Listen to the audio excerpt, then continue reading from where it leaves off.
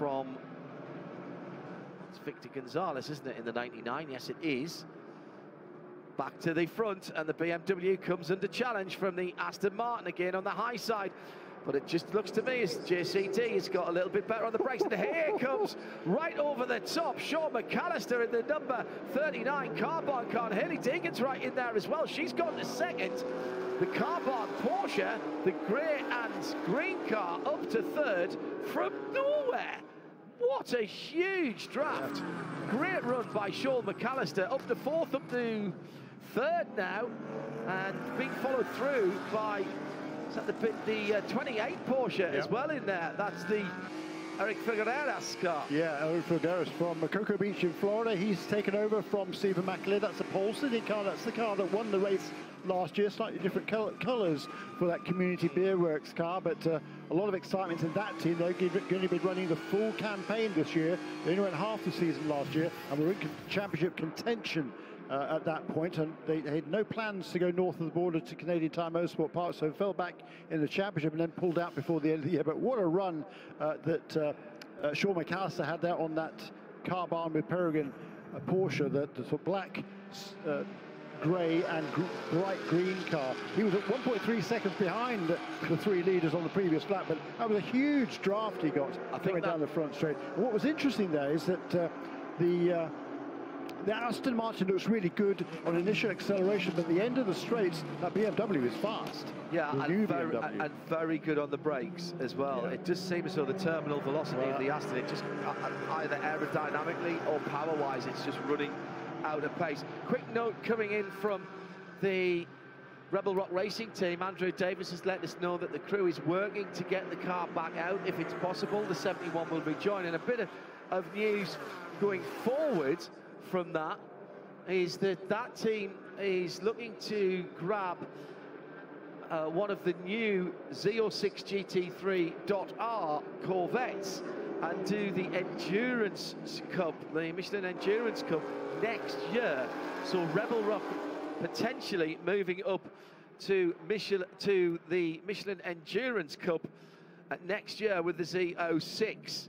That news uh, breaking over the lunchtime period when that Z06 uh, was unveiled and it's sitting there uh, down in front of the uh, Chevrolet building.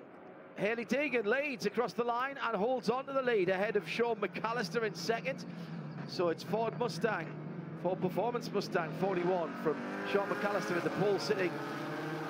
Porsche in second, third the JCT Tibet's car. That has not stopped the last time around that car, but it wasn't too long since it was in the pit lane. They head onto the banking, and it was a typical drafting manoeuvre that took the Ford Performance Mustang into the lead, and Sean McAlister followed through on JCT and made it into second place as they were crossing the line on the tri-oval, but Hailie Deegan got that done very early indeed. A penalty for the number 5-8, the Crucial Motorsports McLaren pit lane protocol violation. I know no more than that. Drive through.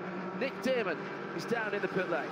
Yeah, in, in the uh, 28 car, they were cheering away as the uh, uh, the overtake with a couple of laps ago. There's five cars together, two going through. Just trying to grab Stevan, Stevan McAleer, the RS1 team. He, he disappeared about 14 levels up. I'm, I'm, at Andrew Marriott levels of height here at the moment, up 14 steps.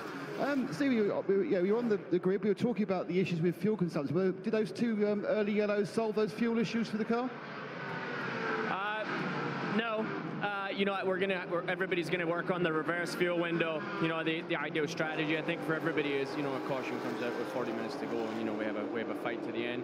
Uh, definitely, as I said to you on the on the fan walk there, the Mustangs are really strong. Um, they didn't they didn't fall off as much as I thought, but uh, again, the RS1 Porsche, we're, we're right in the thick of things here, and uh, we're certainly going to fight for the win today. Eric uh, Filgueiras is replaced. He's in there and fighting. I mean, you, I, I, there's a lot of wincing, a lot of cheering. I mean, it's a very, very close battle every time into turn one, isn't it? I mean, if you watch, there's there's battles all through the field. Uh, you know, multiple manufacturers. This is a, a, a huge uh, a huge race for us, and uh, you can see the competition again is so tough. We're we get a top three out of here, and then no damage. I'd be excited, but I, I will tell you, if we're close at the end, I'm going to go for it. It looks like the um, the draft is really strong today. Is it? Is the wind in a particular direction making it more than normal? Yeah, the draft is always it's always a fun game playing the draft here. A lot of the uh, the experienced guys, certainly the NASCAR boys and, and, girls, know how to do it as well. And there's a couple of cars that don't. So uh, the draft is humongous here, and the side draft and everything else. It's uh, it's going to be a battle on the bank, and that's for sure. Well, it looks like you might have some more tactics to play because the 13 Mustang, Steve McAleer's car, that's, that's dropped a, uh, so they, they, they, dropped a um, uh, bumper, so maybe another caution. Well, obviously, I'm, I'm rooting for Chad McCumbee and Jenson Altman in that Mustang as well. You know, McCumbee McAleer racing, but uh, hopefully those boys finish second today and we finish first. Good idea. Thanks a lot. Yeah, Shit. racing against himself. Yeah, he is racing against himself. It must be odd to see his name on the side of the car. Uh, whilst that interview was going on, the number 95 Turner BMW went behind the wall. There's damage to the right side and to the rear of that McCumbee uh, McAleer Mustang, which is going for second position and being pushed towards it by the uh, number 42 Zane Smith driven car but the Porsche on the inside which is Stevan McAleer's car is holding on. So we've got McAleer's car uh, alongside McAleer's car. So the McAleer McCumbee machine and Stevan McAleer the car he drives are fighting for second position. There's almost a touch there between the two of them. Chad McCumbee that was for the lead of the race excuse me as Hailie Deegan had dropped back to fourth position. Things changing so quickly. So three Mustangs in the top four, five cars. Fourth different leader then in this race, as Chad McCumbee becomes the, the latest one in that uh, McCumbee McAleer Ford Mustang car number 13. Really good run by him. That was a interesting battle on the straight oh, too. that was it? very nearly a huge incident uh, as uh, Chad McCumbee was breaking into the chicane. That's how he got the damage. Uh, and was side by side with one of the PF racing cars. And that has damaged the sill, the sill cover on the right hand side and the whole of the rear bumper, which goes right up underneath the lights into the tailgate section of that car underneath the rear spoiler, should I say. And that has come off that car. So Mustang, Mustang, Porsche, Mustang, Porsche. Three Mustangs in the top five, as I was mentioning. McCumbee and Zane Smith from Sean Mac McAlister, Hailie Deegan has led the motor race and scored as a lap leader. In TCR, the Alpha has pulled away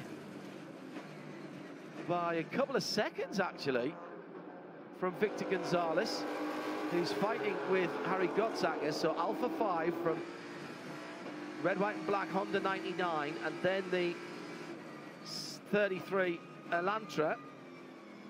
More smoke out the back of the Toyota as John Branham in the number 25 TR3 Racing Aston is down along the pit lane. And stopping at the very far end of the pits. So let's see what they're doing.